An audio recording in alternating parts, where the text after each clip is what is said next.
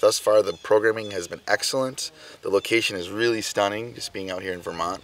But the best part really has been the space and time with other people um, within my cohort. They're just amazing people and being together in a time and place and just sharing stories.